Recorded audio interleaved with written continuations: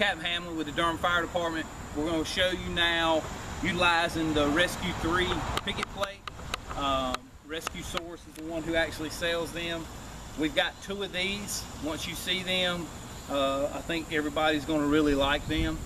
Um, but just know we've only got two picket plates. So if you need multiple anchor points and once you utilize these, you're going to have to go back to the either the webbing method or to the traditional uh, half inch rope method. Now with this picket plate, you'll see there are five holes right here. This is actually where our pickets are going to be driven through. Just three of them, the first one, the middle one, and the last one. Um, if you notice, they're just a little bit ob have an oblong length to them compared to the one in the front. We don't want to drive a picket in this one. How do you know it's the front? If you look at the side, you can see the front's kind of kicked up. Uh, Rescue 3's built this in so once you put this in the ground it gives you a little bit of area to, as an attachment point. Now our fall line, our direction of pull is going to be that way. That's where we want our attachment point pointing. So we're going to put it on the ground. We're going to get us a picket. Again, two-thirds the length in at a 15 degrees. So we're going to set these in. Again, a good way to find our 15 degrees is the back of your foot to right over the front of your toe. Garland's going to drive them.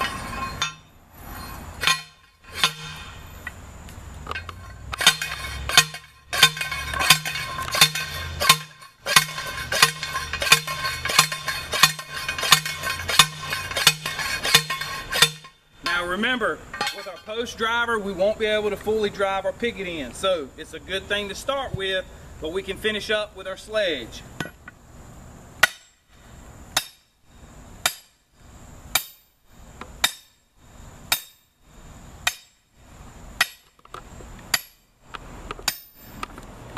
All right, again, we're gonna set up a one to one to one. So we're gonna put three pickets in. Again, 15 degrees, this point, there you go.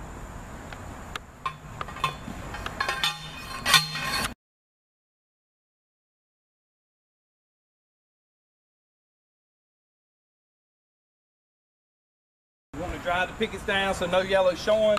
We'll put our last picket in.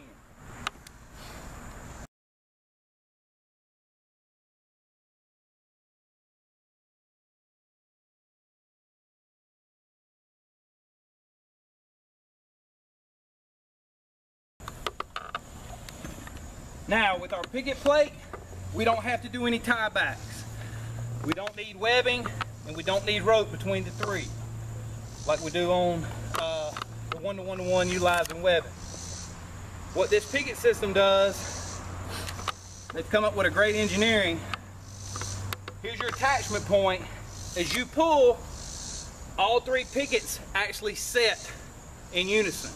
So with our typical one-to-one-to-one with webbing or with rope, the first picket's gonna set, second picket is set, then our last picket is set. This one, as you put tension on it, all three pickets are gonna set in unison. So once you put this on, there's no way that this is gonna slide up to the top of the pickets. All right, so we're gonna do a pull test, again with our Rock Exotica, Exotica load cell. The max we're gonna put it under is 10 kilonewtons. Um, that's what it's rated at, so we don't wanna exceed that. This system, again, has been tested up to 6,000 pounds. Uh, we don't have a way to test it for us that goes that high, but we'll show you just at 10 kilonewtons how much it actually will set into itself. All right, so we're gonna show it under, under tension now. Y'all go ahead and haul. If you notice this, if you can see the three pickets starting to set themselves,